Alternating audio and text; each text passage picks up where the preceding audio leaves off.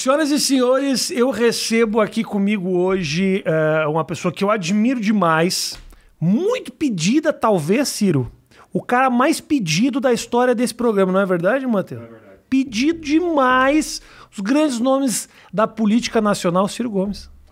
Bom, eu que também tenho uma alegria muito grande, Pô, Rafinha. que uma alegria grande porque eu sou seu fã antigo, sou, sou admirador, acompanho Obrigado, irmão. Tamo junto. aí desde bastante tempo atrás. É uma verve humorística, mas que não perdeu a, né, a necessidade de, de agregar a esse humor uma reflexão com uma linguagem que as pessoas gostam de entender. Erro muito, erro aqui. muito, mas tem muita gente que está aqui com a gente. Olha, quem fala toda hora, como eu, estou é. falando de mim, necessariamente Sim. erra. Mas assim, sabe, errar e se desculpar pelo erro claro. nobilita a opinião. Mas eu estou feliz e também quero agradecer a turma boa, porque ninguém tem a militância que eu tenho. É, então. Então eles Isso. vivem pressionando todo mundo para me trazer e eu estou feliz de estar aqui. Fiquei impressionado e há muito tempo, né? Isso estava me contando nos bastidores como é que tu fez para para chamar essa turma e tornar esse cara que é eleitor ou que virou eleitor numa comunidade ao teu redor. Como é que se faz isso, senhor? Achei interessante isso também. É, eu eu, quando acabou a eleição, acabaram as eleições de 2018,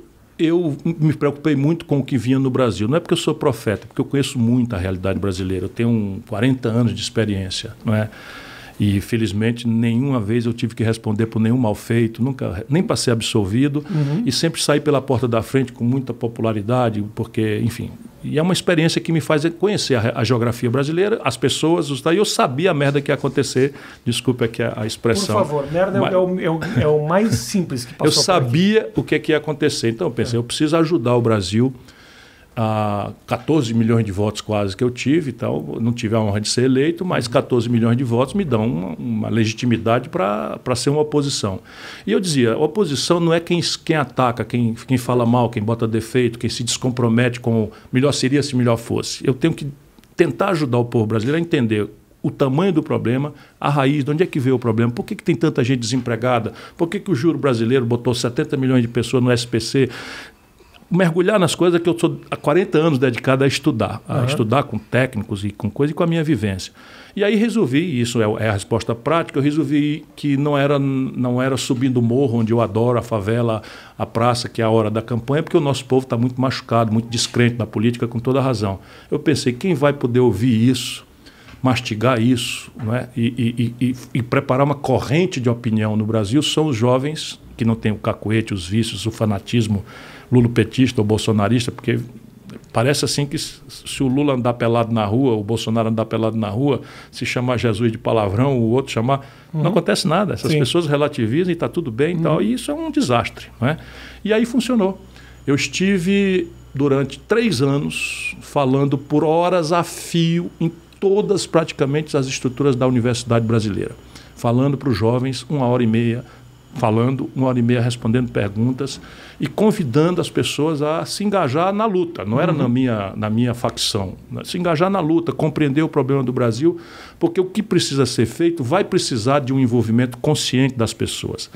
E funcionou. É uma coisa impressionante como daí para diante, e eles são duros, eles não são um negócio de Maria vai com as outras, Pegam não. Eles, pé, eles reclamam, enchem, me criticam quando, e, eu, e, eu, e eu absorvo isso e tenho sido cada dia melhor, menos por mim, mas porque estou virando essa, esse intérprete fiel né, de uma corrente de opinião Perfeito. que compreende o Brasil e que tem uma proposta para o Brasil que a gente chama de Projeto Nacional de Desenvolvimento. Isso virou um livro, essa experiência virou um livro, é um livro que explica por que, que aconteceu tudo isso que está acontecendo no Brasil, sustento com números, com argumentos né, uhum. cerebrais e não emocionais, nem de ódio, de ódio, e propõe. Basicamente, talvez a minha grande contribuição seja oferecer uma solução para o problema brasileiro. Existe uma solução, Ciro? Existe. E nós temos uma solução? Veja, deixa eu lhe dizer aqui o que é está no livro, mas hum. vou lhe resumir para todo mundo que está nos acompanhando. Entre 1930, que é um ano importante para a história brasileira, houve uma revolução que mudou a lógica de organizar a economia do Brasil, a lógica de inclusão do Brasil no mundo, inaugurou o direito de voto das mulheres. É uma, é uma revolução modernizante uhum. que acontece no Brasil. Pois bem, desta data, 1930 até 1980, são 50 anos, meio século. O Brasil, Rafinha, foi o país que mais cresceu na história do mundo capitalista, do mundo inteiro. De 1930 para ah, 50. Uhum. 50 anos crescendo uma média perto de 7% ao ano. Olha, meu irmão, não tem ninguém. A China precisa 15 anos para Eu brinco sempre, a China é aqui, ninguém uhum. precisa olhar exemplo dos outros. E, de repente, de 80 a 2010, o Brasil cai para 2,5%. Uhum. Olha aqui, resto de ditadura, maluquice do Collor, é, o conservadorismo lúcido do Fernando Henrique, o cons nacional consumismo do Lula, a tragédia da Dilma, o golpe do, do Michel Temer, o Bolsonaro. o Brasil cresce 2,5%. Nossa, você uma frase resumiu muita desgraça é, aí. E, de, e, essa é a tragédia brasileira ah. que os números vão iluminando. Se a gente não deixar o barulho, a zoada, pensar. Né, uhum. Né, pensar. Então, números. Entre 1930 e 1980, o Brasil cresce 7% em média ao ano. Tá. Isso é fenomenal, porque nesse ambiente você pode distribuir renda, pode dizer de onde é que vem o dinheiro para pagar uma escola que preste, uma segurança que funcione, uma infraestrutura que seja compatível com a nossa aspiração de modernidade, etc. Se não é mentira. Se não cresce, não tem distribuição de renda, não tem de onde tirar dinheiro para pagar nada, que é o que nós estamos vivendo. Uhum.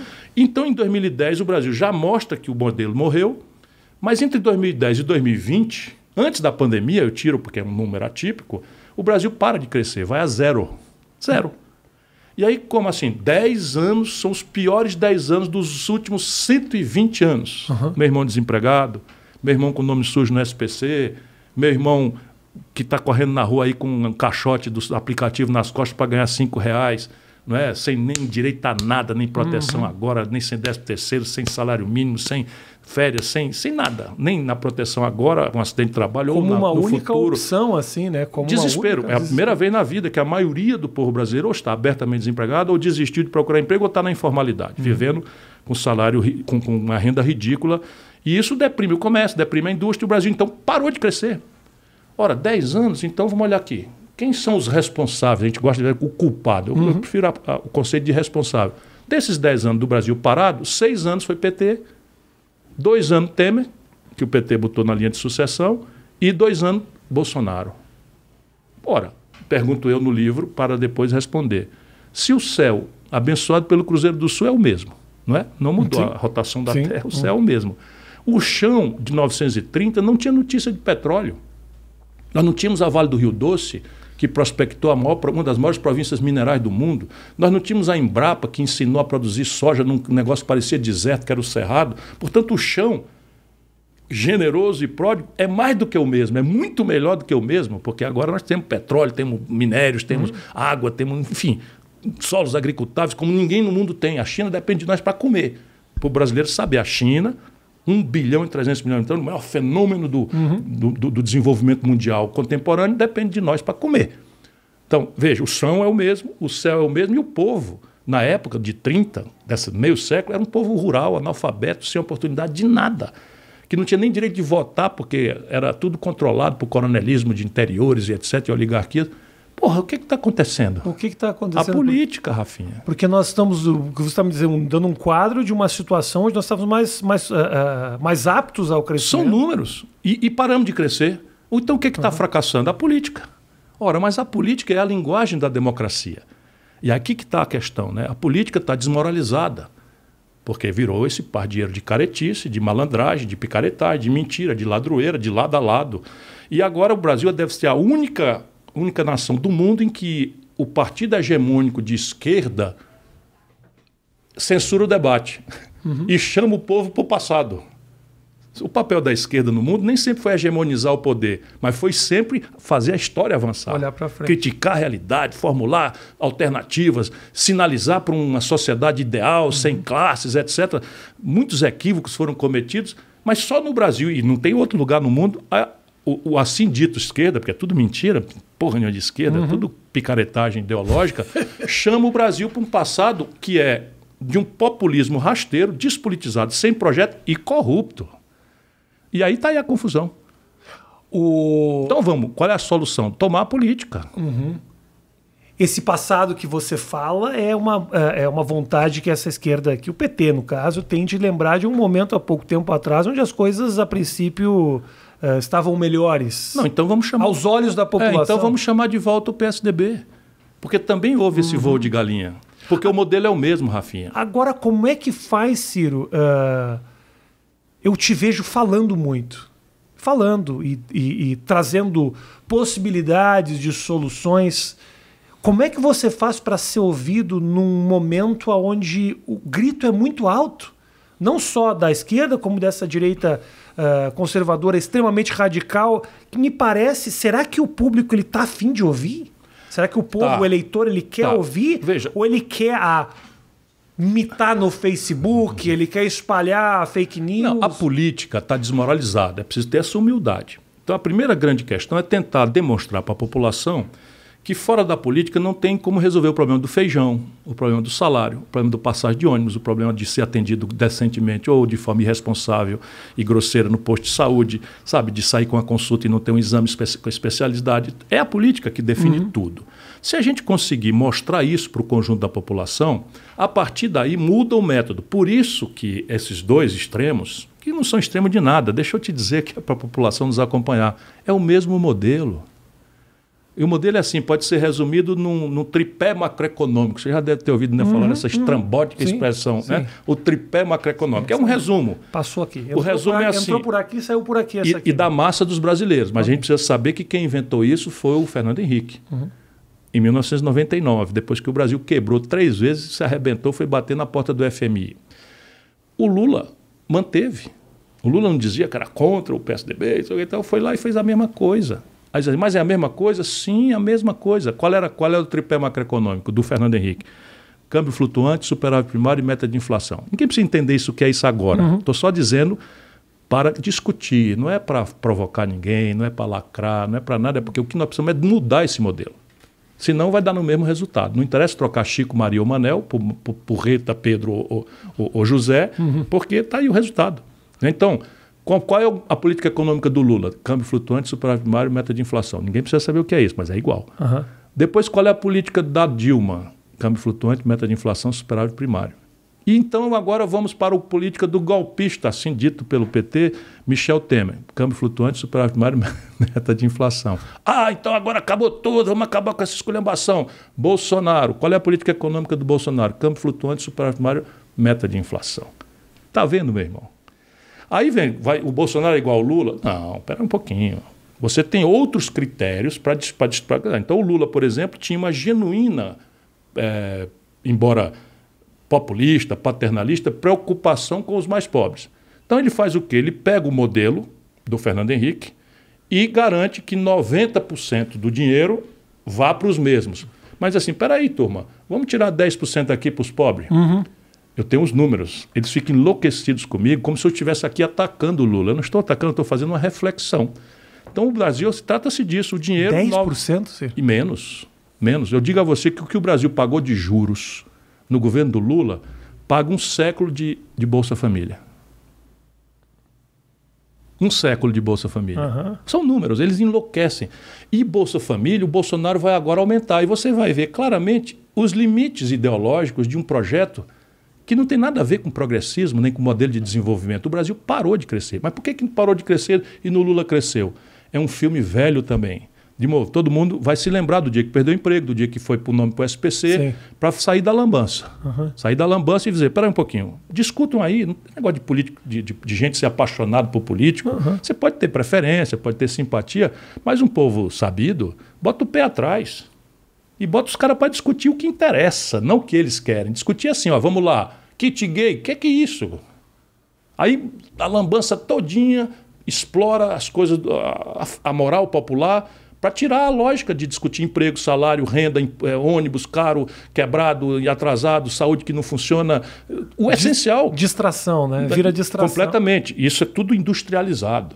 Tudo isso é industrializado porque tem muita gente, quer dizer, pouca gente ganhando muito em cima dessa distração. Te dou um número. Neste momento, o Brasil tem cinco pessoas, por dedo de uma mão, que acumulam a fortuna que, e- que, que, que possuem os 100 milhões de brasileiros mais pobres e de classe média. Não tem nada parecido no mundo. O Bolsonaro é uma tragédia, está piorando tudo isso. Mas não foi ele que produziu isso. E existe. Compreende pra você ver, Sim, e- né? e, acho que existe uma leitura é, do brasileiro é, que determinados governos ajudam mais a classe. é, que os mais ricos, ó, esse ajuda, o outro ajudou menos. Na verdade, todos os governos até hoje tiveram uma relação de uma relação com a, a, fortuna, né? Garantiram que esses caras, que em muitos momentos uh, deram uma grana para uma campanha, quer dizer, essa relação com os bilionários, os milionários, ela existiu desde sempre. É, a prevalência do poder econômico no mundo capitalista é um problema grave. Uhum. E a, a, democracia do mundo inteiro está desafiada a achar uma fórmula em que o dinheiro não seja o argumento derradeiro de construção do poder político. O mundo inteiro está discutindo isso. Há uma, há uma agonia da democracia representativa antiga. Quando essas campanhas elas passam ah, para a internet, quando elas passam a não ser tão caras, quando o povo passa a engajar com os seus com os, com os planos e com os projetos mais do que com as pessoas ou com os comerciais maravilhosos, eu acho que começa a se desconstruir um Óbvio, pouco. Isso, mas né? isso tem que chegar ao ponto da democracia do século XXI. Nós estamos conversando aqui, milhares de pessoas estão nos acompanhando. Percebe? E, e, e, nada impede que milhões de pessoas, amanhã, se quiserem, também possam ver, porque esse conteúdo está disponível por esse instrumento democrático, embora extremamente contraditório, que é a internet. Uhum. Mas o, a gente não pode mais ter uma democracia representativa do século XIX, que é o Brasil. Veja, no mundo inteiro já manda direto para o povo discutir as coisas que importam. Porra, se eu tenho um sistema de impostos em que eu cobro 15% de quem ganha R$ 2.050 uhum e cobro 27,5% de quem ganha um milhão de reais por mês, isso está errado. Sim, sim. Mas como é que vai consertar em Brasília?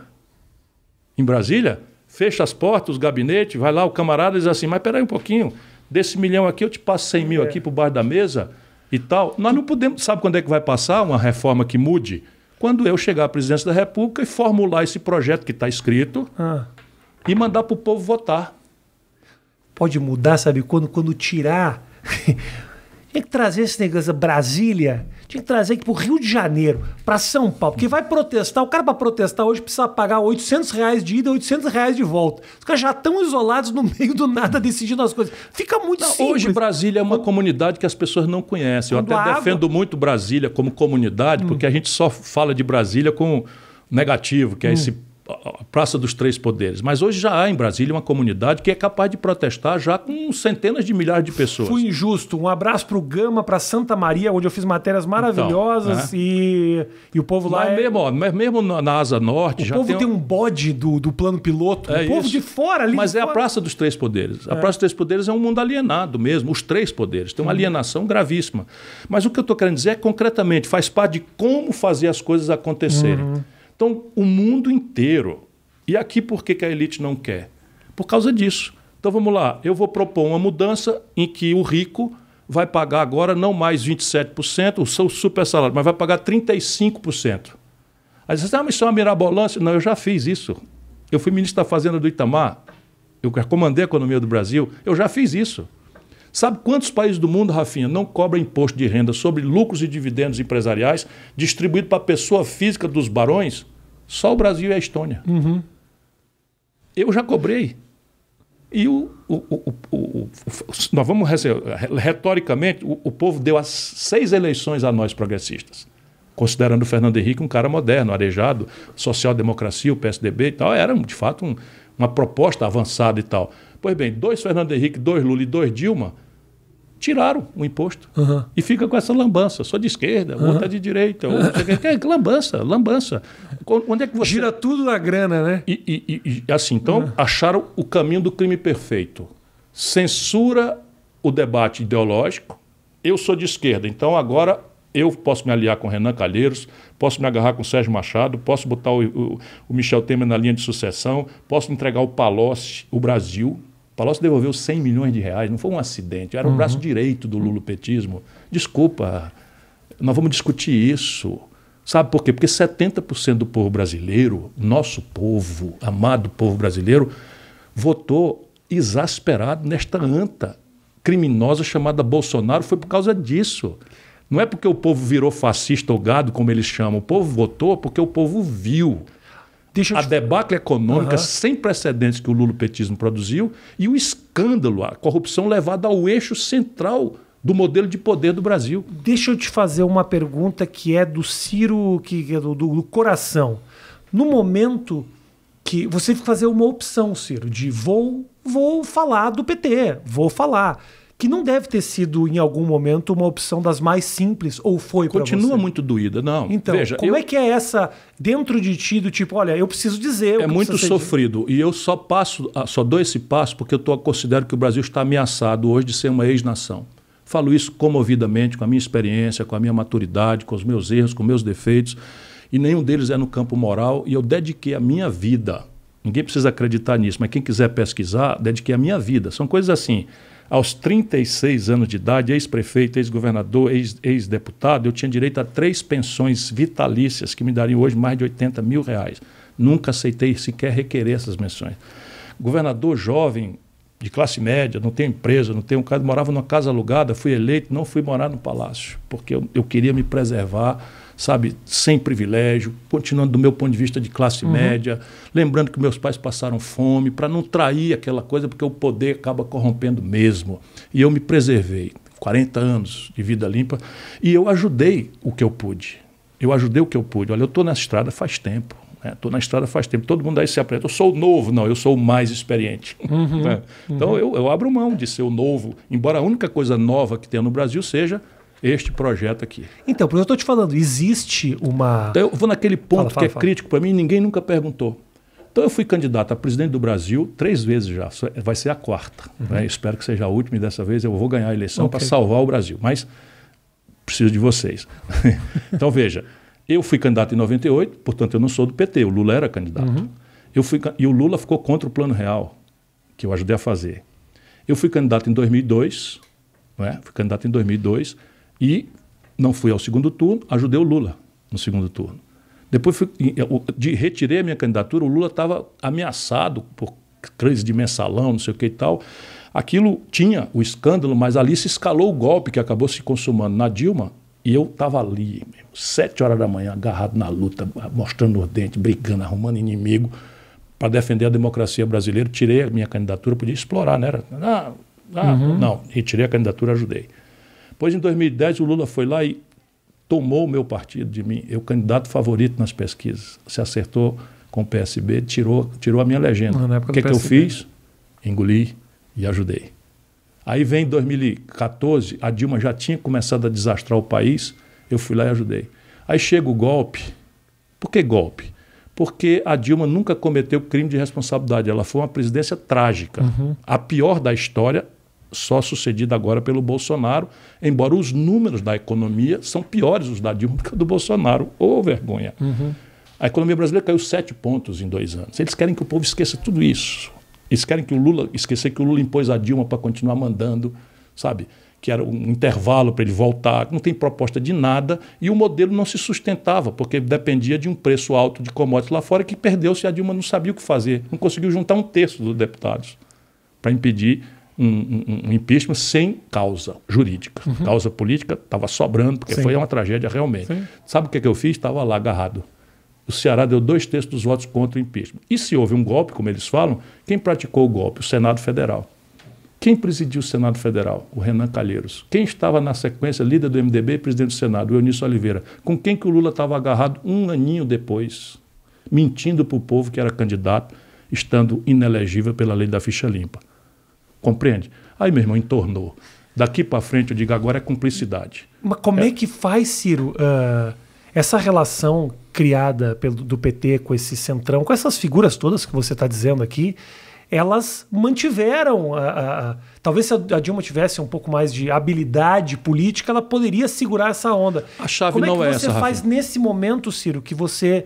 Você sente que você precisa dessa turma? Você se alia com eles de alguma forma, com esse centrão que está ali há muito tempo? Ou batemos neles também? Isso é uma mentira grosseira, a qual o Fernando Henrique deu um. Você tem que entender um que eu sou um cara extremamente ignorante. Eu faço de conta Não, que eu não, tô não, não, não, mas você não tem nada de ignorante, você está fazendo as perguntas no ponto. E, e a gente não tem essa explicação clara porque todos eles querem que esse assunto seja Se eu- varrido para baixo do tapete. Se eu falar merda, se você falar Rafael, você acabou de falar merda. Eu vou baixar a cabeça e falar, você tem toda a Combinado, mas eu, eu, eu, eu, eu compreendo, porque você está interpretando o nosso povo. Então, veja, existe hoje um cinismo que o PT está impondo aos jovens brasileiros, isso eu não vou aceitar, de que a gente tem que governar com os bandidos.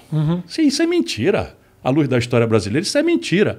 É recorrente essa prática? É, mas veja, a chave não é essa. A chave é a rua.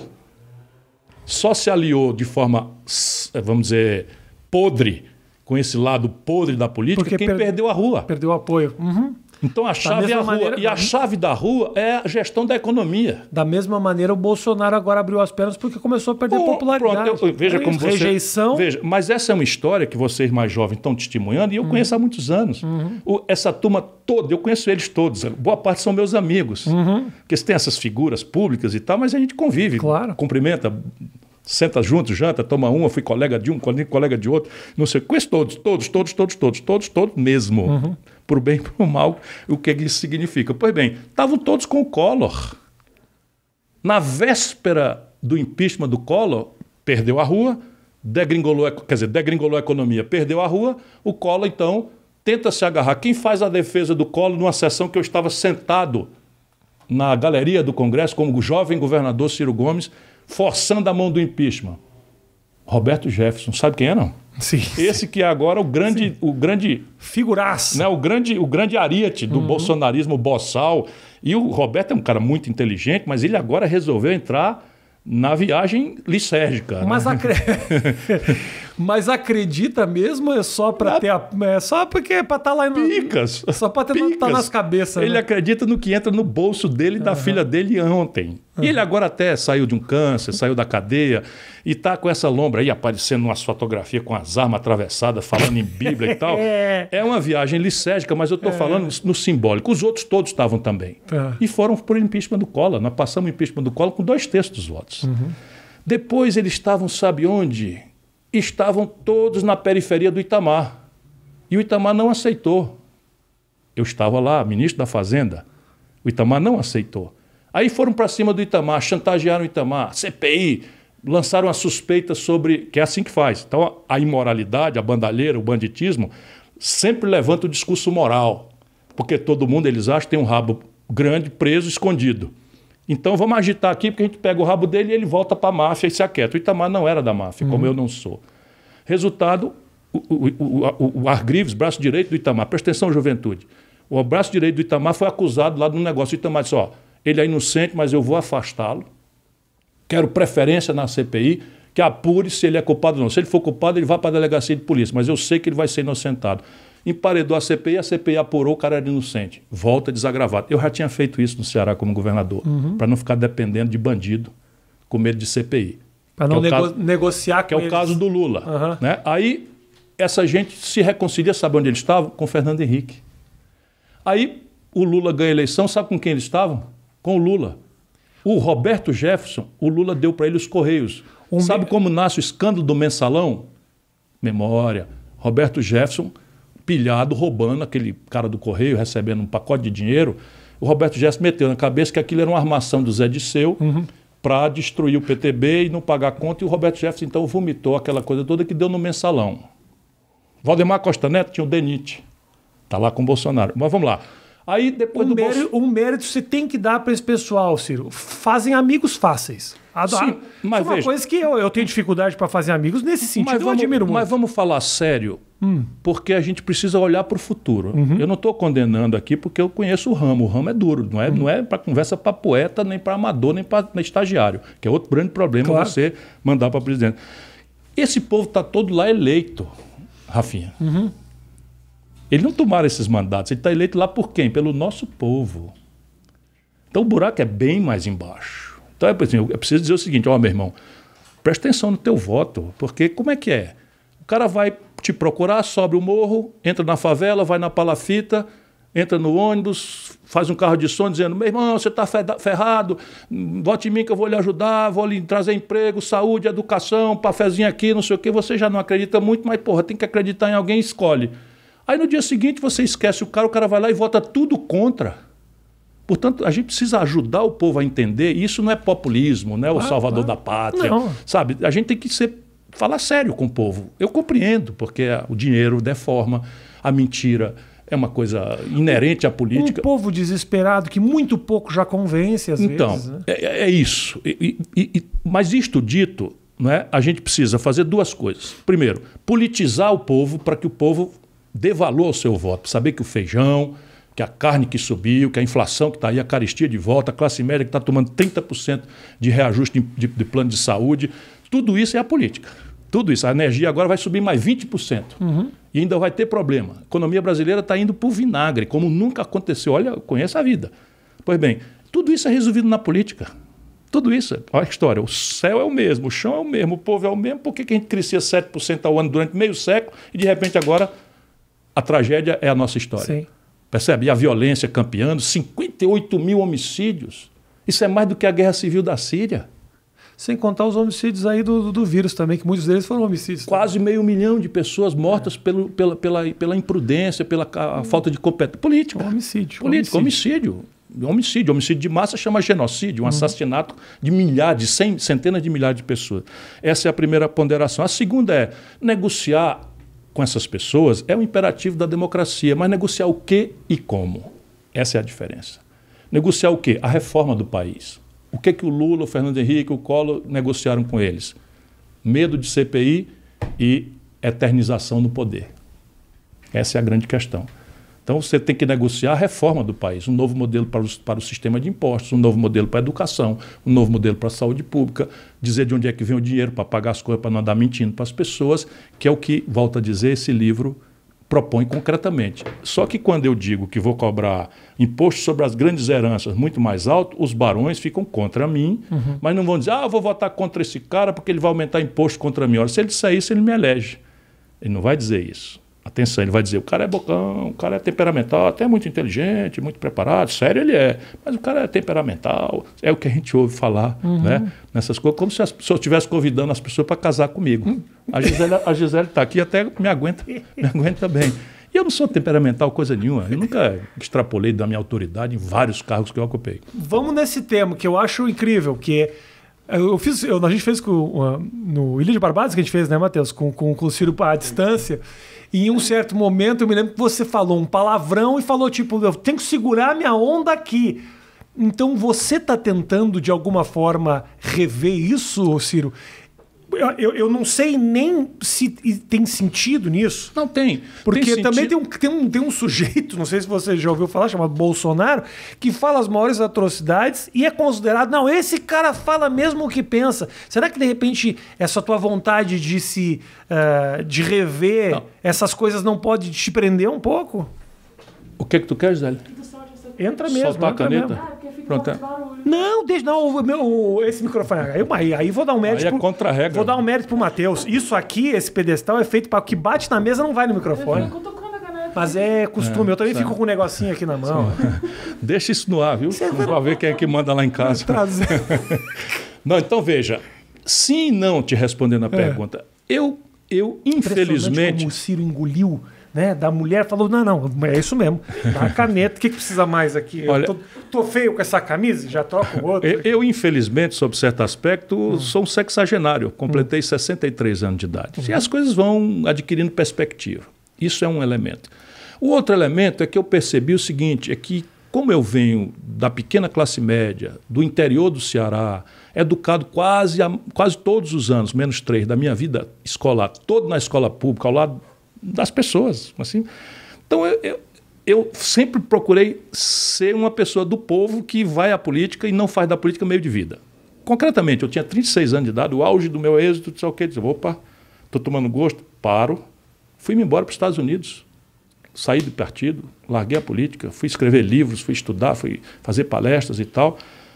Anos. Para onde você foi? Exatamente? Fui para Harvard fui recebido como visiting scholar em Harvard. Né? De lá saiu um livro, que foi o primeiro livro é, denunciando o neoliberalismo como, como modelo de economia política, não como palavrão, uhum. escrito com um extraordinário brasileiro que é professor mais jovem titular de Harvard, da Law School, que foi professor do Barack Obama e que é meu parceiro nessa, nessas reflexões todas, faz o prefácio desse meu livro, chama Roberto Mangabeira Unger. Né? Foi larguei a política. Como nunca aceitei receber pensão, nunca fui morar em palácio, então eu acabo sendo isso, mas depois eu percebi, ora, todo mundo no Ceará, que gosta ou que não gosta de mim, me conhece. E meio que eu falo como cearense. Se você olhar o Falcão conversando, o artista, se você olhar o, o, Raimundo Fagner, ou olhar o Belchior falando, conversando, sabe, é mais ou menos assim que a gente fala. Vai falando e solta um palavrão venial, não é uma coisa. Mas assim, aí em São Paulo, numa certa elite, isso, eita, que é isso? Sabe? Aí eu percebi, não, eu não tenho razão. Eu não, eu não posso ser um, um, um, um sabe, um nativista, porque vou conservar o meu sotaque, vou, vou conservar o meu jeito, e não entender que a linguagem não pertence a quem emite a linguagem. Você é um comunicador, a linguagem pertence a quem recebe. Tenho minhas dúvidas sobre isso, Ciro. De verdade. Não, mas se você quer ser entendido. Entendo, entendo o que você está falando, mas. Uh, você é você. Você mas aí isso, é, isso, era o, isso, era isso era o arremate do raciocínio. Agora, ninguém me espere por qualquer tipo de golpe de marketing que eu vá virar um Cirinho Paz e Amor, uhum. sabe? Ninguém espere isso. Eu me sentiria um hipócrita sabe, um sepulcro caiado, como a Bíblia diz, se eu de repente começasse a aparecer, eu sei, eu, eu, eu arranho bem o inglês, eu arranho um francês razoável e tal, eu posso ser um pedante aqui, podemos conversar com palavras que só nós dois vamos entender, mas ninguém. Estou noutra. Estou noutra, eu quero que o povo me entenda. Uhum. Mas não custa nada eu tomar cuidado com as cascas de banana. Eu sempre fui assim, sabe, peão na unha. Então eu passo assim na rua e o cara diz assim, Bolsonaro, eu digo, vai dar, né? Percebe? No passado. Uhum. Agora eu dizia assim: não cansou de passar vergonha ainda, não, irmão? É a mesma coisa, mas é diferente, né? Então, antes era vai tomar onde as patas tomam e tal. Mas não é muito louco que o mesmo cara que faz essa crítica para você celebra claro. o, o, outro sujeito? Não é, é isso. Por quê? É Ele... É só para encontrar um furo e ter alguma coisa. Claro, é mas isso? veja, o Bolsonaro se elegeu sobre duas pernas: segurança pública e moralidade. O Bolsonaro é um bandido Bolsonaro é chefe de quadrilha. Me processa, Bolsonaro para ver se eu não provo que tu e os teus filhos roubavam dinheiro do teu gabinete na gasolina, roubavam o dinheiro do auxílio moradia, roubavam o dinheiro dos funcionários fantasmas. Chama Natália, a o... filha do Queiroz, que tem 10 mortes nas o costas. O auxílio moradia passou muito batido. Pai, eu lembro até hoje que aí foram entrevistar e ele falou: com o que, que você gasta essa vera? Porque você pode tirar uma verba em dinheiro, né? Sim. Ah, eu gasto com comer tua mãe. Comer, comer gente. Comer gente. É isso. É isso. Mas, aí, aí, mas aí, de novo, a elite brasileira eu lembro disso. Né? Comprometida com o rentismo, com a plataforma do Guedes, que é fazer o Estado virar um, um mecanismo de transferência de renda de quem trabalha, de quem produz, esfolar a população, os produtores, os comerciantes, os industriais que estão quebrando e tal, para gerar excedente para o rentismo, para a especulação financeira.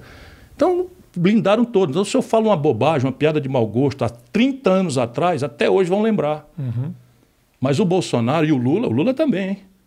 O Lula, o Lula fala disparates, assim, os mais aberrantes nessas agendas identitárias, que eles são monopolistas da defesa. Tudo papo furado. O que o Lula pensa das mulheres eu conheço. Mas quem duvidar, veja na internet, para não ficar aqui baixando o nível. Uhum. O que o Lula pensa da comunidade LGBTQIA está lá numa gravação dele em Pelotas. Pelotas é um polo exportador, né? Foi Depois uma piada assim, de mau gosto. Ah, só foi uma piada de mau piada gosto, sem nenhuma mal... dúvida. Mas se eu faço. Bom.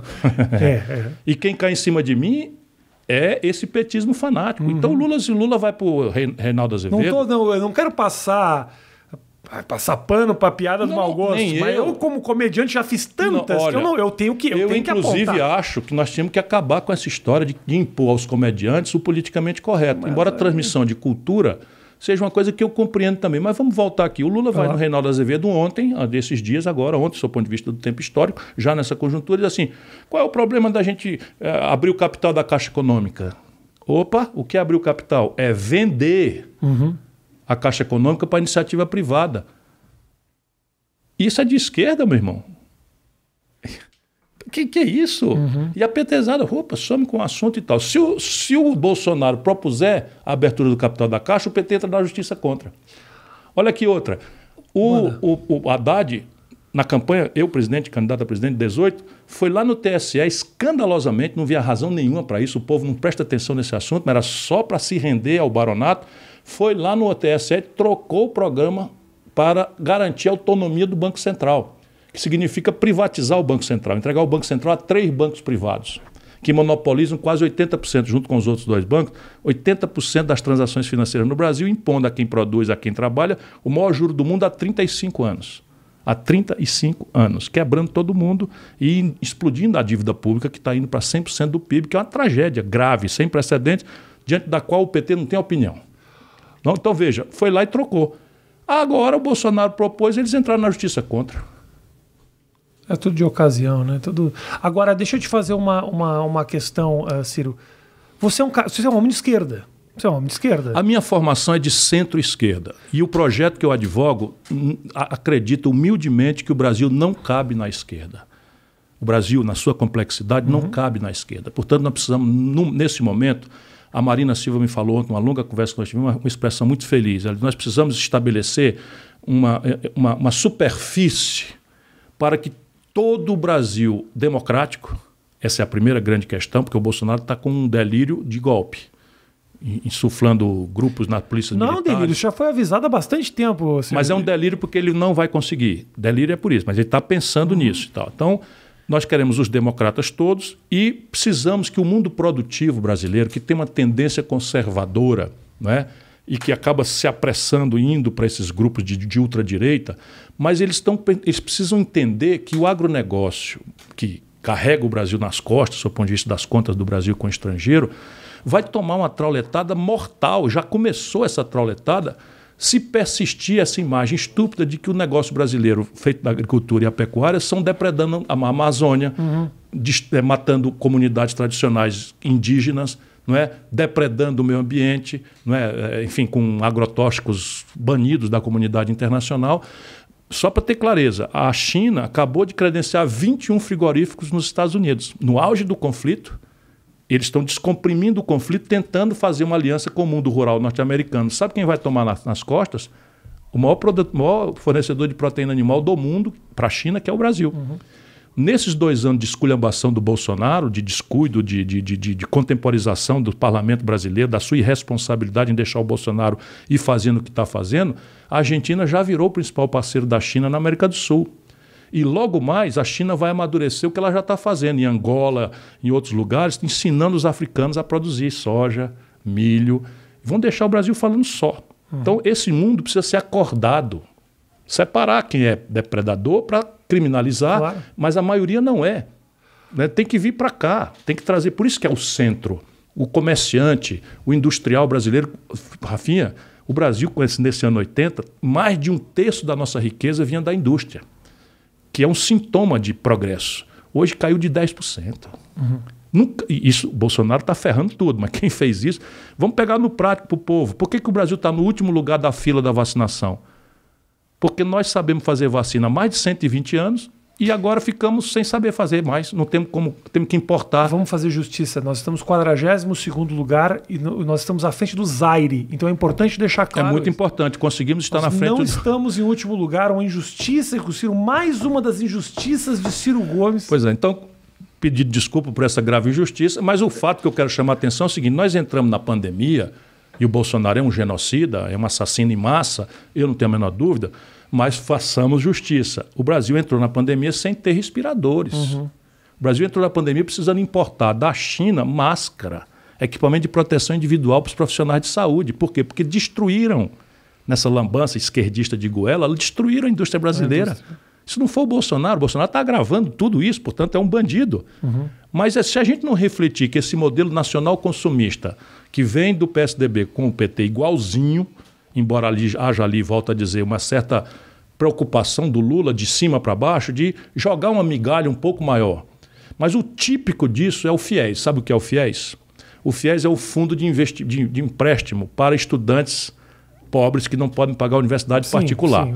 Olha, olha o esquerdismo APT. Francamente, né? vou cometer aqui outra injustiça. Mano. Sabe o que é está acontecendo hoje, Rafinha? 6 milhões de garotos brasileiros, de jovens, iniciando a, a vida pública, a vida pessoal, profissional, estão com o nome sujo no SPC. Já, já nasce com dívida. Por quê? Porque o Lula pegou uma montanha de dinheiro público, passou para o empresariado privado, que gerou os maiores conglomerados de educação privada do mundo durante o governo do PT. Surgiu no Brasil, não foi nos Estados Unidos nem na Alemanha. Os maiores conglomerados privados de educação do mundo surgiram no Brasil com o Lula.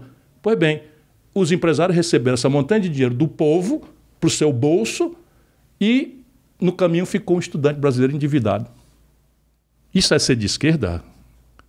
Isso é uma tramóia patrimonialista absolutamente direita, de direita. Como é que, uh, Ciro, nesse momento. Uh... Ou não é verdade que tem 6 milhões de garotos e, e, pessoas que tomaram dinheiro do FIES que estão no, com o nome sujo no SPC? Não vem com barulho. Mas não, vem com, não vale, foi para Paris, não.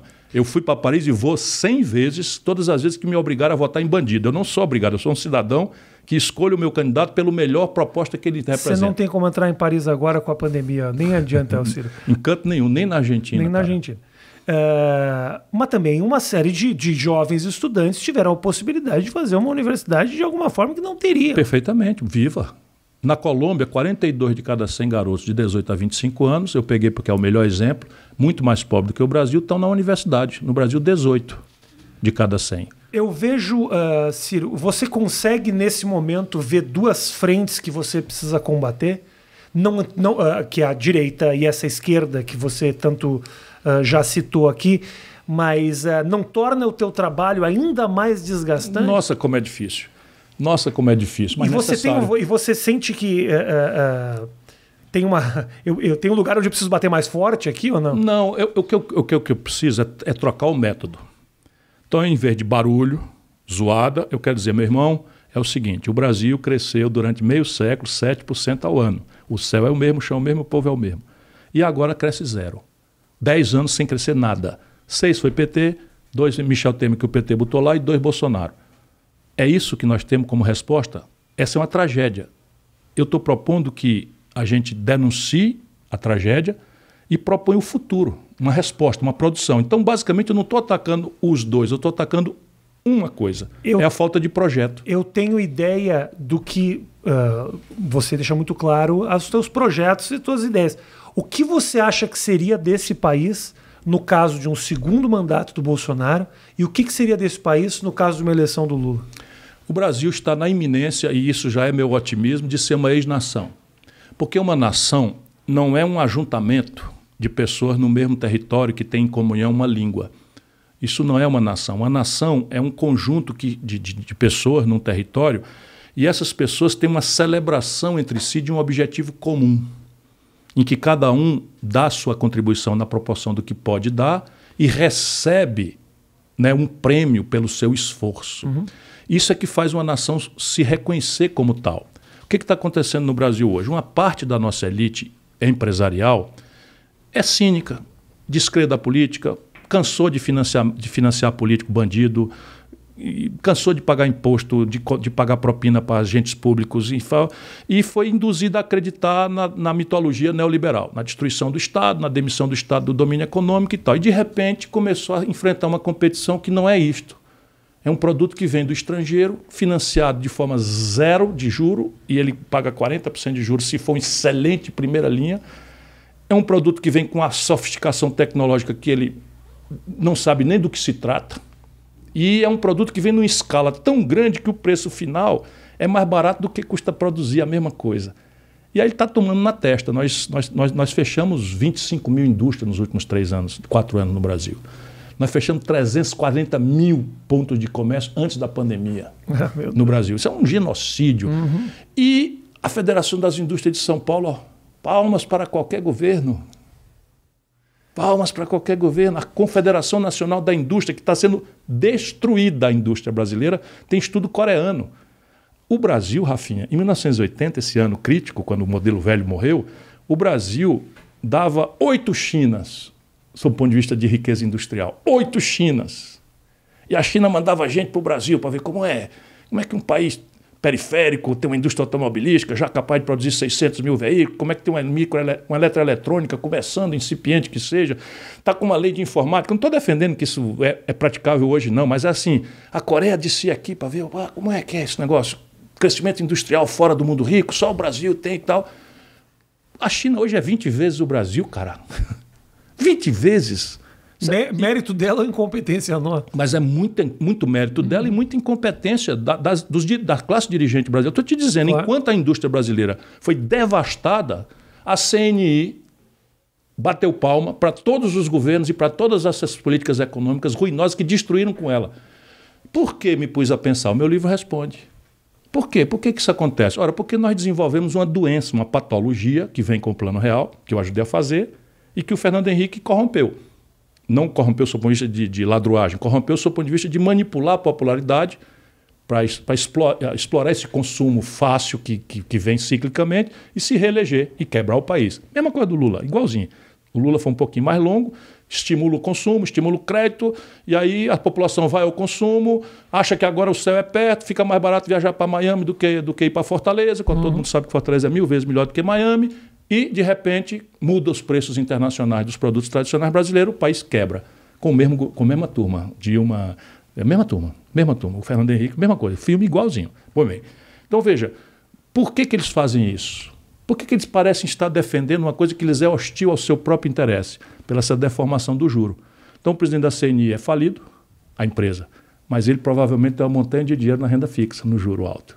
Uhum. O presidente da Fiesp é um ex-industrial quebrado e tem o dele na renda fixa ou no dólar lá fora. Essa é a questão. Agora a Fiesp parece estar acordando. Eu espero que aconteça, porque nós precisamos de uma interlocução com a indústria, enquanto ainda podemos salvá-la. É tudo dinheiro, Ciro. Tudo no dinheiro. No fundo, é tudo dinheiro. De um tempo para cá, é só dinheiro. Perderam completamente a noção de nação, essa parte da elite. E embaixo, meu irmão, é mais grave ainda. Você imagina o que é na cabeça da garotada da periferia de Fortaleza, da periferia do Recife, da periferia de Porto Alegre. Que é melhor que Miami, inclusive. Fortaleza, sem nenhuma dúvida. Disso não há, não há dúvida. Por qualquer argumento que você queira considerar. Mas em compensação, a tua comparação é terrível. Miami é um horror. Pelo Sim. menos jogam em Nova York. Sim, mas, mas os ricos daqui tudo querem ter uma casa em Miami. Fortaleza é melhor que Nova York também, senhor? Hum, mais ou menos. Chegaremos lá. É. Chegaremos lá. Okay. Chegaremos lá. Aí ah, só alguns aspectos, sim, mas outros aspectos Osasco ainda, é melhor ainda que não. Miami. Não, não, qualquer um é melhor Pronto, que me pegou. mas eu faço isso para cutucar aqui. Então, veja, o, o, o, nessa questão do rentismo, você só tem uma solução. Você tem que trazer a taxa de juros no Brasil há 35 anos maior do que a rentabilidade dos negócios. Eita, acaba falou grego agora. Não, uhum. não, não, não, não, não. É bem simples para a gente entender. Se o governo estimula que o juro da economia seja mais alto do que o lucro da agricultura, da indústria, do serviço, do, do comércio, se eu tenho dinheiro, eu não vou botar num negócio que me dá trabalho e me dá risco e ganhar um lucro menor do que eu teria se eu aplicasse no banco. Sim, sim. Porém, se eu não tenho dinheiro, que é a realidade maior do Brasil, como é que eu vou tomar dinheiro emprestado no banco, botar num negócio cujo lucro é menor do que o juro que eu tenho que pagar para o uhum, banco? Sim. É isso. Então tem que trazer a taxa de juro para um lugar menor. É a única forma de consertar esse negócio. E isso não se faz por decreto, se faz através de, uma, de um saneamento das contas do governo, que estão no maior descalabro da história. Mas tem, mas tem conserto. Tem conserto, vai, mas vai doer. Por isso que eu me incomodo como é que aquele partido dito de esquerda censura o debate. No mundo inteiro a esquerda está lá. Pô, está errado isso, vamos fazer aquilo. Se fosse eu, faria isso, isso. Não, aqui não. Aqui não pode. E sabe por quê? Porque não são de esquerda. Eu vou te dizer como é que conserta a conta pública. Conta pública é o seguinte: 320 bilhões de reais de renúncia fiscal por ano. Tu, meu irmão, paga imposto 40% quando liga no pré-pago tu não sabe, mas 40% do que tu pagou é imposto. É imposto. Uhum. Você chega na cesta básica, é, queijo suíço, salmão, os lobbies vão conseguindo, corrupção, ladroeira, não, não paga imposto. Uhum. Salmão na cesta básica se esconde por trás do, meio, do feijão que explodiu o preço, da carne que estourou de preço e mete lá pelo lobby. A localiza, uma empresa de locação de veículo não paga imposto. E o cara é um privatista, agressivo, tem que acabar com esse Estado corrupto e não sei o que e tal. O cara foi conseguindo. Se você aluga um carro lá no Macapá, da Localiza, a placa é de Belo Horizonte. Presta atenção quando você tiver visto um carro da Localiza, a placa é de Belo Horizonte. Por quê? Será que esse carro foi em Belo Horizonte emplacar? É não, é porque lá Minas, com as finanças liquidadas, não cobra IPVA. Então o cara saiu no lobby, no suborno, no toco, ou no favor, sei lá o quê. E aí conseguiu. Um dinheirinho para campanha. 320 bilhões por ano. Se eu cortar 20% disso, eu tenho 70 bilhões. Opa!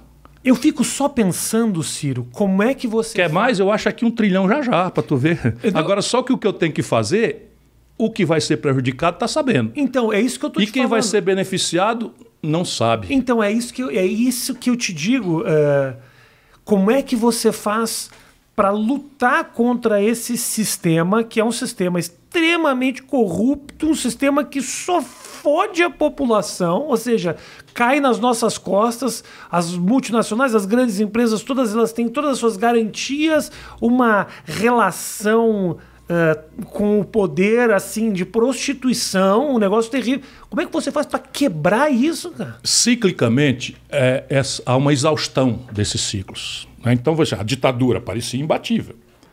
E eu estava lá, desde o movimento estudantil, militando. Tínhamos diversas correntes, tínhamos comunistas, eu nunca fui comunista, mas, tinha, enfim, flertava ali com a esquerda católica, o partidão, etc. Enfim, sempre fui democrata e tal, social-democrata, socialismo democrático, mas estávamos todos juntos ali e conseguimos, derrotamos a ditadura. A nossa geração acredita no milagre da política. Eu tenho 63 anos, porque nós produzimos o milagre um milagre importante. Né? Na época, uma entrevista como essa dava cadeia para mim e, e uma tortura para você. Por diversos motivos, Ciro. Ditadura. Por diversos motivos. Eu, Mas é. Então veja. Eles encontram agora. Pra... Só isso. Um, um, estudante se reunir dava cadeia. Tal. Então nós ganhamos essa parada. Uhum. O grande problema é que a democracia não entendeu que a nossa tarefa era dupla. Não era só derrotar a ditadura que também se precipitou o fim dela pelo colapso do modelo econômico, uhum. que vem lá da década de 30, 40, 50, explode. Não é? O Brasil cresce 15% ao ano, é, em momentos ali da década de 70. O problema não era só derrotar a ditadura, era construir um novo modelo econômico, um novo modelo de desenvolvimento. E a democracia não conseguiu fazer isso. Anunciou uma Constituição generosa, que nossa geração comemora até hoje, porque ela refunda a democracia, as liberdades, etc., etc mas ela virou um grande estelionato, uma grande mentira para o nosso povo. Ela anuncia um salário mínimo capaz de pagar todas as despesas do viver básico, decente, até no lazer, está lá pra, pra, quase hoje como um insulto. Né? Tem que pagar educação, saúde, comida, aluguel e lazer. Né, uhum, né, da, da uhum, população, sim. é uma mentira. Anuncia um sistema de saúde generoso, embora seja extraordinariamente importante, mas o Brasil gasta um quinto do que a Inglaterra gasta por saúde e os preços da saúde são iguais globalmente. Por quê? Porque o Brasil importa tudo do estrangeiro. Uhum.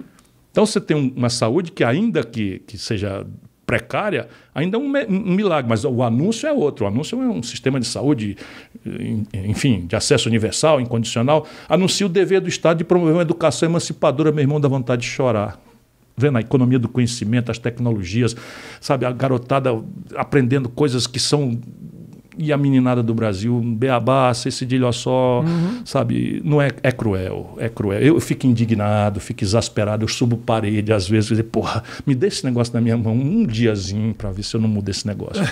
e assim, e é viagem, não, vai ver o que está acontecendo no Ceará, um dos estados mais pobres do Brasil.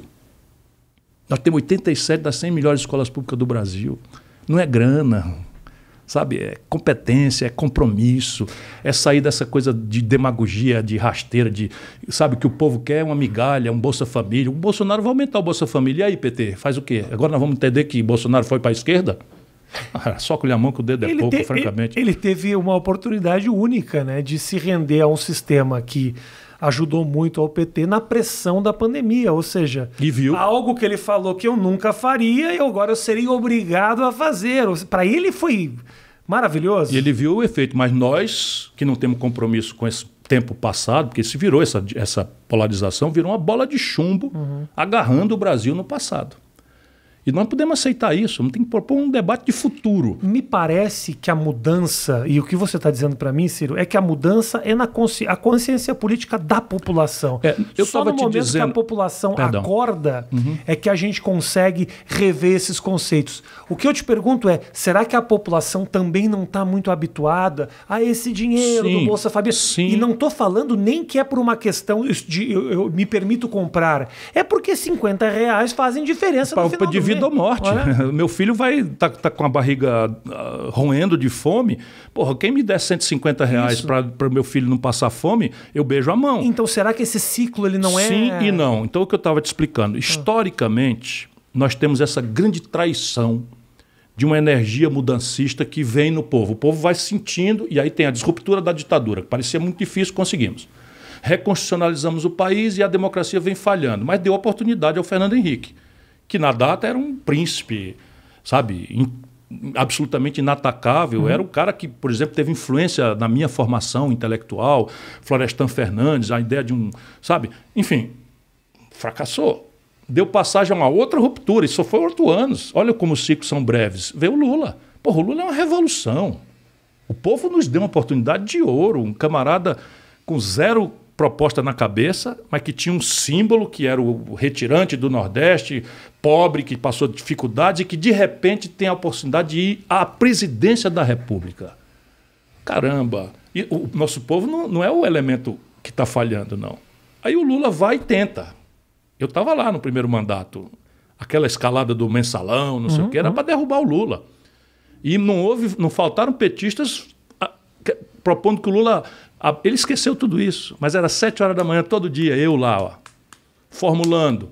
Boa parte dos petistas diziam, não, o Lula vai anunciar que não é mais candidato à reeleição, em troca disso o PSDB recua e não sei o que e tal, e eu alto lá, e isso aqui é um projeto de país, nós não podemos abrir mão, não sei o que e tal, e o Zé disse, faz logo aliança com o MDB, na hora que a gente se acertar com o PMDB, dá aí um pedaço de coisa. Ou seja, a- se acerta com os bandidos para os bandidos não, não denunciar nossa bandidagem e tal. E ele acabou se rendendo. Foi o povo que falhou? Não, se rendeu. Aí se acerta com Michel Temer, cacete. Espera um pouquinho, nomeia o Gedel e quer que a gente engula. O Gedel Vieira Lima, vo- vocês não são obrigados a saber, o Gedel Vieira Lima é aquele daquelas malas de 51 milhões de reais no Sim. apartamento. 51 milhões de reais, filmados, fotografados, mala, monte, aquele, lembra? Vai no Google, meu irmão, vai no Google. Pois bem, de onde é que veio esse dinheiro? O Lula nomeou esse cara ministro da Integração Nacional, o lugar que eu tinha ocupado. É A. Dilma nomeou esse cara vice-presidente da Caixa Econômica Federal. Só numa propina no Porto Maravilha do Rio, esse cara roubou 20 milhões de reais. Isso é um acidente? O Lula entregou Furnas para Eduardo Cunha, que virou presidente da Câmara, que fez o impeachment da Dilma. O, o- o Renan Calheiros tinha, tinha o Sérgio Machado na Transpetro, esses caras. O Palocci é fundador do PT, é braço direito desse modelo. Meu irmão, não tem barulho. Não tem barulho. Me dá uma satisfação disso, pelo menos. Me dá uma satisfação. O que foi o Palocci? O Lula não sabia? Peraí, essa é- lá no- atrás no mensalão tinha, mas no Palocci, o Palocci tem uma delação premiada. Naquele momento que você estava ali, Ciro, batendo na porta, sete horas da manhã para conversar, Não, era, era pedido dele para ajudar a esconjurar o golpe. para resolver essa questão. Olha, está quase na hora de eu contar os detalhes disso. Tá. Quase na hora de eu contar os detalhes disso. Não vai- contar domingo no Flow, só isso. Não, não há a menor chance. Vai ser na campanha. Tá bom, perfeito. Tem mundo, você sente que para tua campanha tem, tem bala na agulha ainda, muita Não, é o coisa. seguinte, eu, eu vou debater o Brasil com um sentido profundo de reconciliação do país. E eles vão tentar impedir não é, que a reflexão, que o debate, que a, a discussão de problemas. Se a gente não, não conhecer o problema, Rafinha, não tem solução. Como é que você faz para quebrar essa, esse estigma criado por essa, essa parte da esquerda de que o Ciro é um traidor do movimento? Como é que você faz para quebrar isso, Ciro? Veja, eu, eu, eu sou o que eu sou. Porque você sabe, assim, não, não, Sim, não tô claro. inventando Não, nem. Por tudo isso que eu fiz, nem respeito eu mereço. E cada molecagem dessa será respondida direto ao seu Luiz Inácio, a quem eu conheço há 40 anos. E ele também me conhece. Eu já disse isso para ele. Na última vez que nós conversamos, a cada molecagem que a sua turma faz, porque o Lula tem esse estilo. Ele é o bonzinho e por baixo do pano ele financia a coisa mais sórdida. Olha o que ele está fazendo com o PSOL. Olha o que ele está fazendo com o PCdoB. Olha o que ele está tentando fazer com o PSB. Ele- ele- tudo que ele bota a mão é para destruir em nome de uma liderança solitária que nem no PT tem sombra. 30 anos o PT não conseguiu gerar um segundo líder. Tudo isso vai ser discutido. Mas não é isso que a gente precisa discutir. A questão é a seguinte: o que é que o Lula pretende fazer para resolver esta encalacrada trágica em que o Brasil está, que ele, não tendo tido a oportunidade por quatro eleições, deixou de fazer? Ou uma pergunta simples: existiria o bolsonarismo genocida, boçal e corrupto se não fosse a brutal e inexplicável contradição do Lula em relação ao desastre econômico e à corrupção como elemento central do seu modelo de poder? É uma pergunta simples. Simples. Nós vamos derrotar o Bolsonaro para botar o que no lugar? As causas que trouxeram o Bolsonaro para o poder? Agora, sim. não, ah, eu- Então, eu- como eu é que eu faço? entendo. Ideia, eu estou tentando, tá aqui um- é um livro.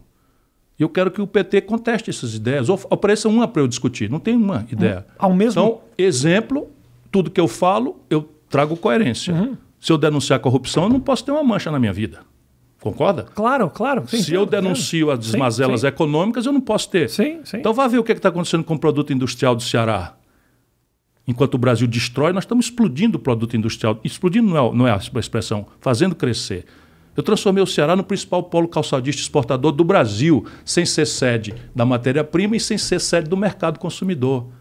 por causa de modelo político, modelo econômico. A, a Grandene, Boa. a Grandene hoje emprega quase 30 mil cearenses e exporta quase 80 milhões de pares de calçado. O que, que a Grandene foi fazer em Sobral, na minha cidade? Compreende? Acabamos de fazer girar uma mega siderúrgica. Deus sabe que eu lutei 20 anos por isso. Uma mega siderúrgica. Parceria da Vale do Rio Doce com coreanos. Dom Cook e, e, e, e Posco. Uma ZPE, a única que funciona no Brasil é a do Ceará. O porto do estado do Ceará é o mais eficiente do Brasil. A educação pública é a, é a melhor do Brasil. Caramba, um estado paupérrimo. Me dê uma oportunidade para você ver. E não acredite no que eu estou falando, não. Vá no Google. Ciro, você fala que o, o, o PT, o, PT o, o Lula é um símbolo. Muito grande. Bolsonaro também é um É símbolo. um símbolo. É o loser no poder. Qual é o símbolo do Ciro? Um cérebro. um cérebro. Uma Se tivesse- ideia. Se tivesse um logotipo do Ciro É um criado por ele projeto, é um projeto nacional. Eu sei que eu estou remando na contramão, mas eu te explico por quê. Você entende? Porque é tudo muito marketing, é tudo muito imagem. Ah, eu ouço muito, vou de PT para não ter Bolsonaro eu no vou poder. de Bolsonaro para não ter PT. Eu isso vou de mata isso vai matar o. Brasil. Símbolos. Nós estamos aqui Isso. escolhendo símbolos. Então, isso daí está comovendo mais ou menos metade do povo brasileiro.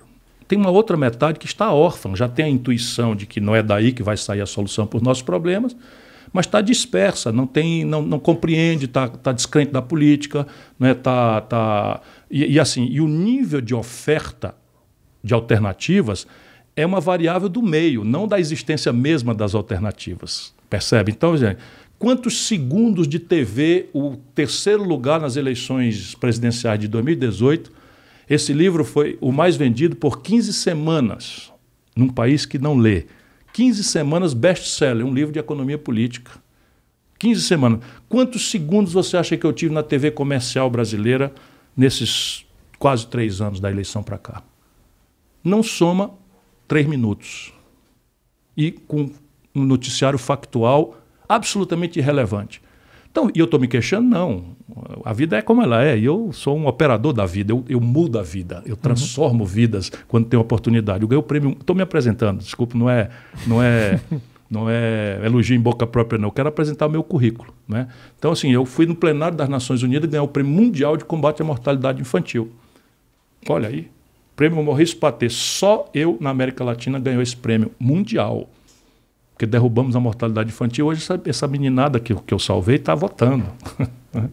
então, então, eu tenho uma proposta, eu tenho uma ideia, e o meio disso, a gente tem que ter paciência. Paciência, porque quando chegar a hora, a população vai se ligar. Então, veja bem, o que é que aconteceu no Brasil hoje, para você entender? O Supremo Tribunal Federal, muito exótico, cinco anos depois, 20 recursos mais ou menos parecidos depois, achou que, ops, não era o Sérgio Moro que tinha que ter julgado o Lula, era o juiz de Brasília. Cinco anos depois, tudo bem, a gente respeita, o Supremo Supremo, acabou a última palavra na democracia, ele- mas elogiar não dá, para mim. Eu sou professor de direito. Né? Então, cinco anos depois, então o que, que acontece? Isso um ano, quer dizer, seis meses atrás. Então, o que, que acontece? Devolve as franquias eleitorais do Lula, o Bolsonaro está derretendo, o mais conhecido anti- anti-Bolsonaro é o PT, é o Lula, então sai daqui, vai para cá. Sim. E um sustenta o outro. Um escolhe o outro para poder não ter discussão de nada sério e ficar nesse choque de egos e, ódios e, e- e transformar esses ódios e afetos febris e despolitizados embaixo no povo. Emprego que se lasque, saúde que se lasque, educação que se lasque, compreensão do, de onde vem o dinheiro para resolver os problemas, relações internacionais ferradas, tudo assunto grave, ninguém pode discutir nada porque está proibido no Brasil, ou é Lula ou é Bolsonaro, então eu estou noutra. Então, o que é que eu acredito? Que isso é muita luz e pouco fogo. É cedo, mas foi o Su- o Supremo que detonou. Então, você agora tem pesquisa que eu só vi na minha carreira de longos 40 anos, eu só vi pesquisa com essa frequência três, quatro meses antes das eleições.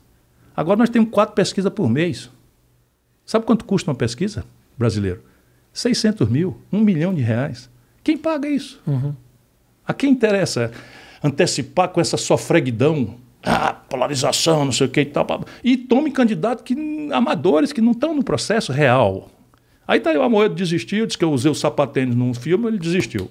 Tô brincando, eu, eu, eu, tenho, eu, quero bem a ele também, respeito. Enfim. Falou mas assim. mal do neoliberalismo aí, desde o primeiro minuto que eu falo, eu quero bem do Amoedo. Não, não, pessoalmente, eu não misturo. Não misturo, não. Eu tenho uma relação dá para Dá não misturar? Dá, dá para não misturar completamente. Eu não, não costumo misturar. Mesmo não. quando o cara desce o cacete em você? Depende. Se o cacete for político, zero problema. Zero problema. Nenhum problema. É, a gente está na vida é para isso. Uhum. Quem quer censurar o debate é essa horda de fanáticos do PT e do Bolsonaro.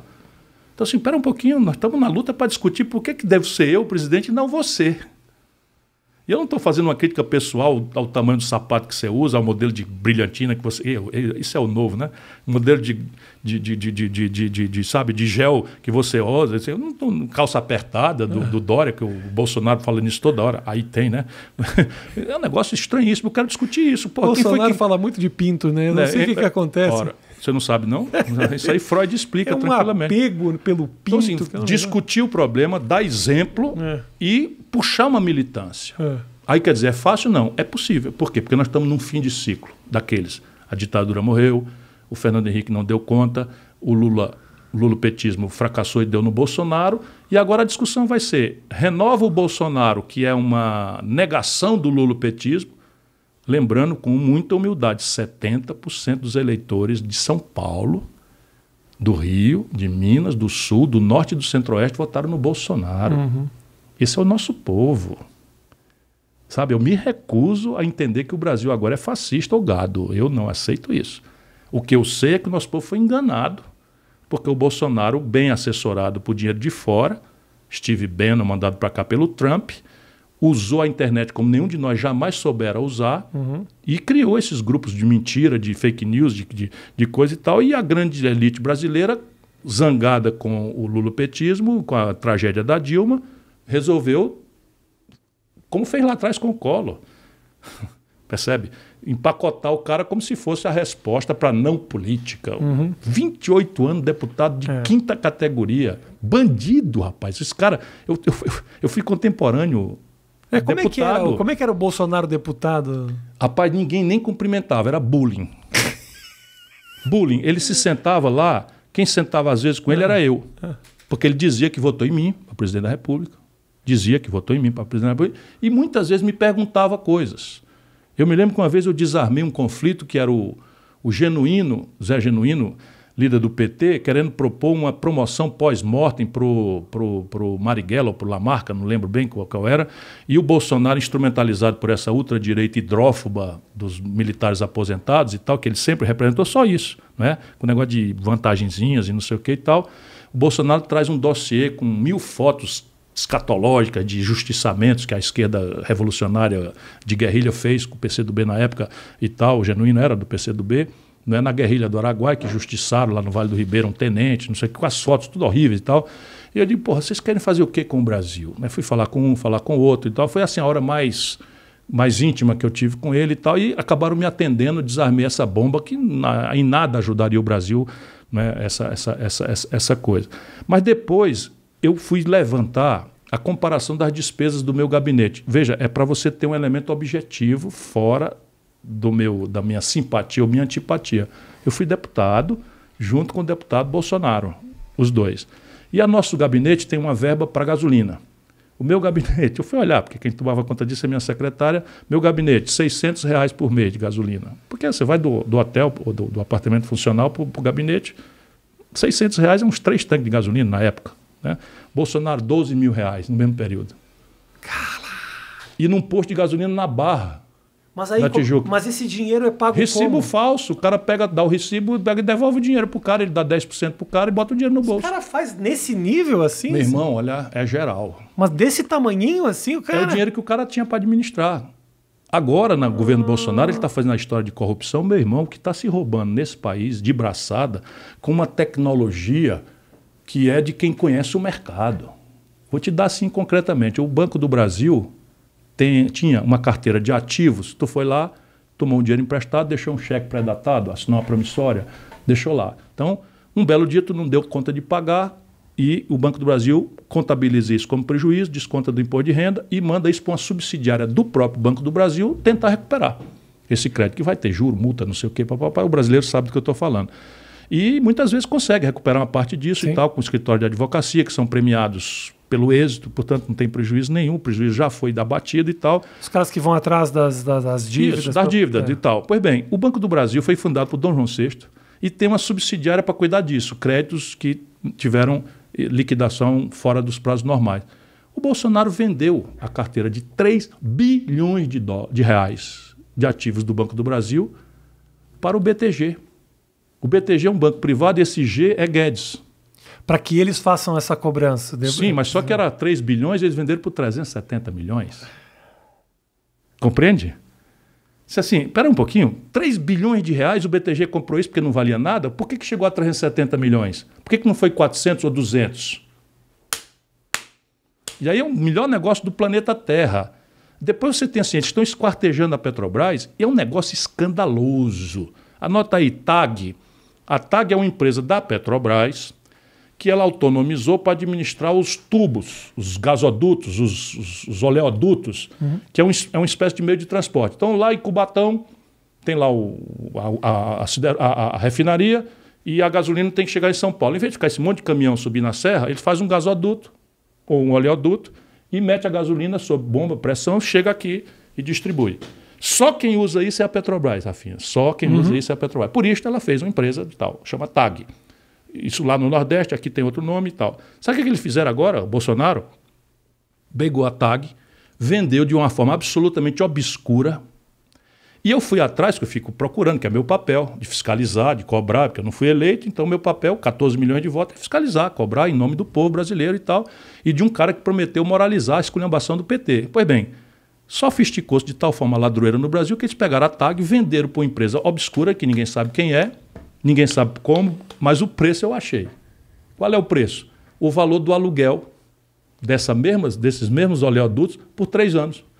Então eu te compro um apartamento. A cifra certinha. É, tu me vende um apartamento. Exatinho. Ah. Tu me vende um apartamento, tá certo? E eu compro o apartamento por 100 e em três anos é. de contrato que, que, que, que eu te dou para tu continuar morando no apartamento, é 100. É até. Tu não é, quer não ter uma, uma, uma, empresa dessa que daqui três anos ela é tua e o aluguel para ir para frente é todo no teu bolso porque tu já pagou. A BR Distribuidora, que todo mundo pensa que é da Petrobras, não é mais. O esquema da, da, da, da, da verba de moradia, é, que, eu, que eu disse anteriormente, ele tem um, um quê disso, assim.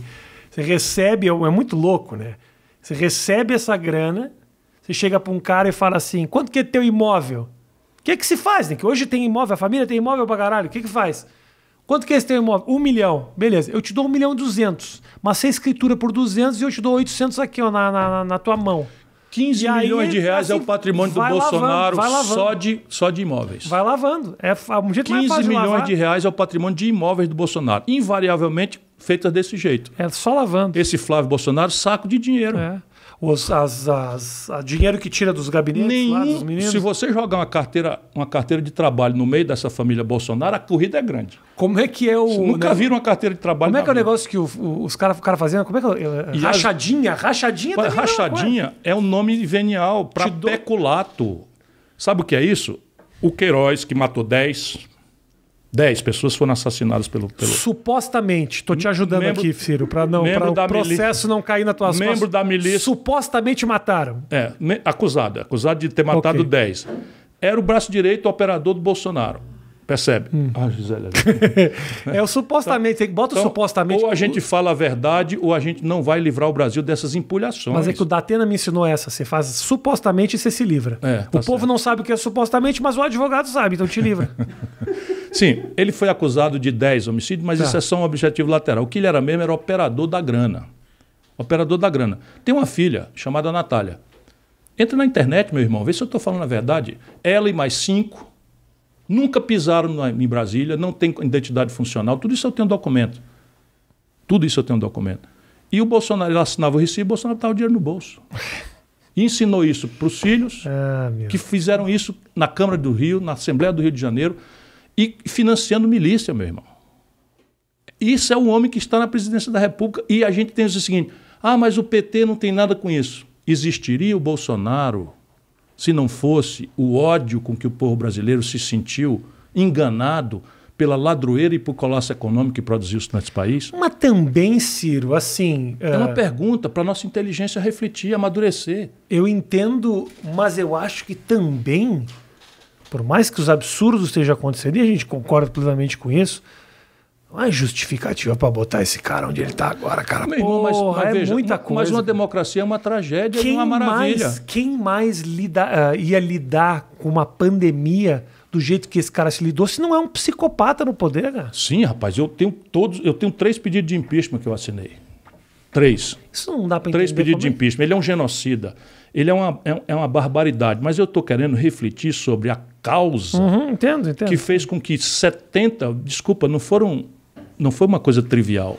70% do nosso povo, do nosso povo, nossos irmãos brasileiros da periferia de São Paulo, sabe, que estão vivendo o pão que o diabo amassou, mas sabe por que foi 70%? Eu vou te explicar. O PT derrubou a economia brasileira 7% em dois anos. Sabe quando houve isso na história do Brasil? Nunca. Sabe o que é isso? É o camarada que acreditou na, na mitologia do crédito fácil, e foi pro nome pro SPC, quando, quando, quando, sabe, pendura na brocha que eu vou tirar a escada. A culpa é das Casas Bahia. Sim. Marabras Não, mas sabe o que, é que a, o progressismo brasileiro fez nesse setor? Concentrou em cinco bancos 85% das transações financeiras do país. E essa gente ainda quer discutir esquerda comigo. Ciro, me fala uma coisa. Nós estamos. Uh, uh, essa corrida começou agora para você, né? Ainda tem uma. Imagina Primeiro, eu tô achando demais você vir lugares como esse. Primeiro, porque eu, eu, eu gosto muito de você, uhum. mas você se abrir a diálogo com essa turma, assim, né? Que eu tô tentando. Desde a época do CQC, que eu tentei, a gente tentava algum contato com o PT e nunca nos receber. Nunca teve. Um programa que era petista, um programa que assumidamente petista. E quem é faz esse tipo de acusação, saiba, você estava certo. Era um programa completamente lulista. Mais do que petista, era um programa lulista. Nunca tive condições de sentar com um cara e conversar. Uh, Bolsonaro, da mesma forma, claro, ele foi muito esperto naquele momento que essa, essa gritaria levantava mas quando a água começou a bater na bunda, ele já fugiu do debate, já não vai nos programas, já não atende, já não fala no rádio, porque também vai expor a fraqueza e a ignorância do sujeito. Mas é um caminho que você está tomando que eu acho extremamente importante e que é uma lacuna que a esquerda uh, ela deixou, que é se comunicar com o novo. Aí o Bolsonaro, e talvez não o Bolsonaro, mas o Bannon, essa turma toda que sabe muito como fazer isso, fez muito bem. De maneira mentirosa, com as fake news, inventando coisas, mas, meu querido, desculpa, não dá para fazer isso? Não, não dá. Mas você precisa pelo menos entender como está sendo feito para poder, pra poder combater. É isso. Então, assim, para que você. Eu, eu, eu, eu, Dica do amigo Rafinha, que é um cara que está na internet desde 99. Esse mundo está aberto ele está aberto. Eu vou Poucos são aqueles que querem ocupar. O Boulos é um cara que vem, tem uma turma que gosta. O Haddad é um cara, por exemplo, que já começou a entender, mas a esquerda ainda é muito incompetente nesse sentido, sabe? Então quando eu vejo lá todos com o Ciro, os caras ativos, uma turma mandando, criando memes, Cirão da massa, essas coisas, eu acho genial, cara, porque uh, o Bolsonaro não buscou isso. O povo, realmente, uh, chateado ou decepcionado, acabou fazendo isso voluntariamente. E ele lá, com a sua, sua turma toda, conseguiu entender que isso elegeu o cara, elegeu as mentiras, ou não sei o quê.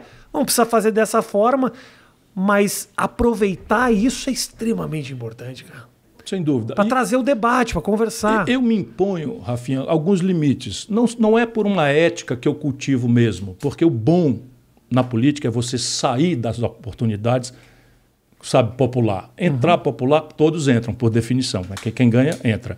Mas o, o, Brasil, a política virou uma espécie de usina de destruição de, de, de, de virtudes e de, de, competências e de personalidades. E eu não tenho vocação para isso. Se eu fosse um lambanceiro, sabe, eu tinha me acomodado no PSDB, eu estava ali numa fila, que era o segundo ou terceiro, percebe? O segundo ou terceiro, uhum. então, mas eu, eu rompi assim, acabamos de eleger o Fernando Henrique, o Fernando Henrique trocou o que era compromisso, eu rompo. E vou embora, vou o ostracismo, porque eu sabe, um desapego meu à política me permite ter essa liberdade. Uhum. Às vezes pago caro, eu vou aprender essa história do supostamente, porque uhum. né, de vez em quando um pilantra desse me saca uma dano moral. Oh, é uma coisa impressionante. É impressionante. Mas tudo bem. Estou né? cumprindo a minha graça. E nunca fiz isso para me defender, fiz para defender o povo brasileiro, uhum. como eu estou falando aqui. Eu... Vender ou não vender 3 bilhões de reais de ativos do Banco do Brasil para o BTG, o nome do banco, BTG, esse G é de Guedes, fundador do banco, por 370 milhões.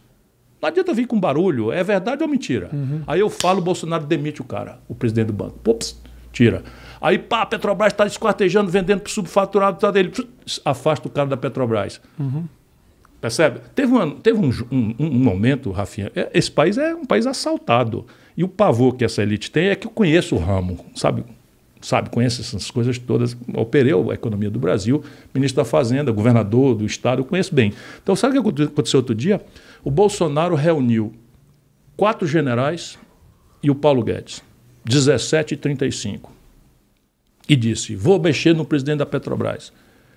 E 30 minutos depois, a, o mercado futuro estava todo vendido e passou a ser comprado de uma forma absolutamente inusual. Não, todo comprado e passou a ser vendido de forma absolutamente inusual no mercado futuro ações da Petrobras. Uma aposta solitária de 160 mil reais ganhou 18 milhões de reais, porque ninguém acreditava que a ação da Petrobras fosse cair 20% num dia. Só esta operação aconteceu. A gente sabe o nome da corretora e basta declarar um, um, juiz, qualquer pessoa minimamente decente nesse país, Tribunal de Contas, quem quiser, abre a CVM, abre o sigilo e a gente sabe quem foi. Você sabe qual que é a merda? Roubalheira de braçada é o que o senhor Bolsonaro representa no Brasil. Você sabe o que, que, é, que, que é frustrante, Ciro? O povo tem. E é difícil. O que você está falando aqui para mim, te falo. Entendi 55%. É. Os outros eu fiquei, eu não, vou é te assim. admitir de fundo Então vamos lá. Não, ia, não, então vamos lá. Eu te vendo esse livro, ele vale 20 reais. Não, não, não. A do, do, do, a do Guedes eu entendi perfeitamente. Claro. claro. Não, isso aí tudo bem. Você tem lá uma, uma carta de pessoas que estão devendo. Informação privilegiada. Poderia arrecadar, eu não diria que 3 milhões, os caras negociam a 30%, 40%, mas mesmo assim, não de me 3 importa, milhões para 300. entregar isso para iniciativa privada? Entendo perfeitamente. Isso dá para entender. Por que, que tem um subsidiário do Banco do Brasil para recuperar isso vai entregar para iniciativa privada? A minha frustração, que é uma frustração antiga, é que o povo muitas vezes ah, entende, sabe o que? Quando é o cartão corporativo, que é estou comprando tapioca com dinheiro do povo. Pronto. Sabe? Eu fui ministro da, da Fazenda e fui ministro da Integração Nacional e nunca aceitei ter cartão corporativo. É assim que eu sou. Nunca aceitei. Mas você entende o que eu estou falando? Eu que entendo. às vezes é muito mais o Orlando fácil. Silva é um belo de um cara um belo de um cara, um quadro extraordinariamente capacitado e foi levado à execração pública porque descuidadamente pagou uma tapioca com cartão corporativo, quando era ministro do esporte no Brasil. E aí todo mundo entende, mas esquartejar a Petrobras e vender subfaturado, entregar para quem comprou um contrato de aluguel do ativo que vendeu, em que o aluguel de três anos paga o negócio que o cara deu e vai ficar com ele pelo resto da vida, isso é difícil o povo é entender difícil. mesmo. É, é claro. uma pena que é difícil, mas eu sinto que cada vez o povo está tentando entender melhor. Eu vou insistir. Boa. Minha aposta é na inteligência do povo. Alguma emoção tem que ter, né, alguma paixão tem que ter, mas é a, só vai salvar o Brasil se a gente conseguir trocar o ambiente de barulho, zoada, ódio, uhum. sabe?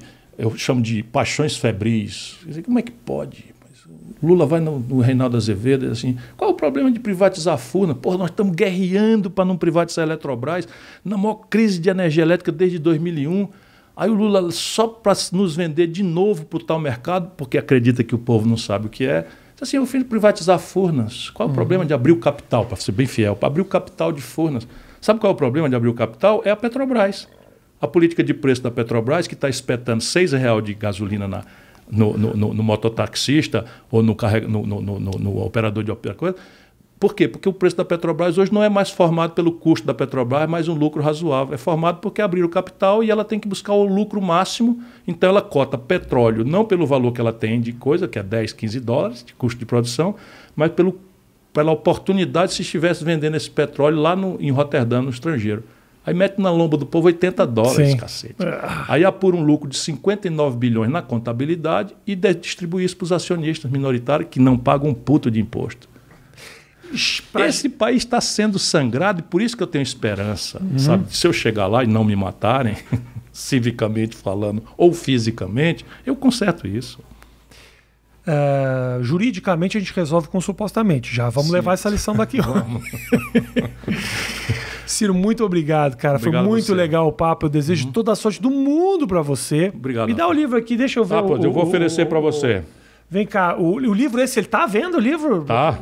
Tá nas melhores livrarias do ramo e na internet. Vou botar, vou botar o link aqui na descrição para a galera comprar o livro, para também. E também quero falar o seguinte, se você está assistindo esse vídeo na estreia, hoje nós estamos gravando uma quinta, está indo no ar na sexta-feira meio-dia, se você está na estreia ou no sábado, sabe que no domingo, ao vivo, o Ciro vai estar tá lá no Flow, com os meus parceiros do Flow, grandes amigos.